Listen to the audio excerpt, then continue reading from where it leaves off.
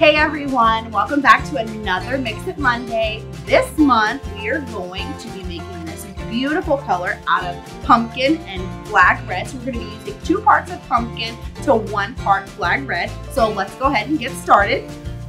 We're going to add two teaspoons of pumpkin.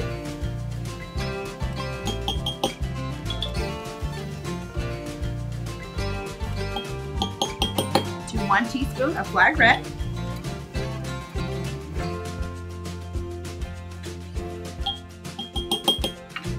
Add our water. So since we have three teaspoons of paint, we're gonna have three teaspoons of water.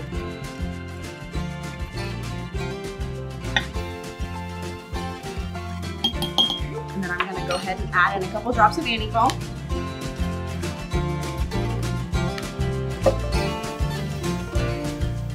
We'll go ahead and get started and start mixing. If you don't already, go ahead, like, share, and follow us. Um, if you have a name that you would name this color, you can also leave that in the comments.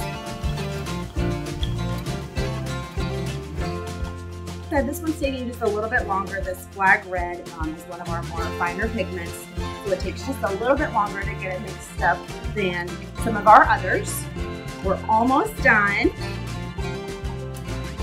We're good to go, and let's go ahead and start painting. I'm super excited.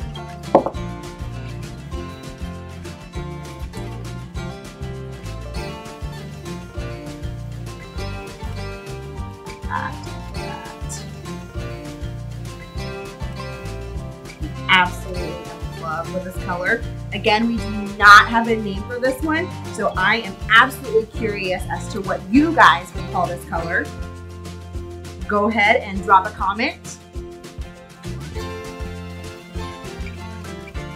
There it is wet, and this is what it is going to look like once it dries. So there they are, side by side.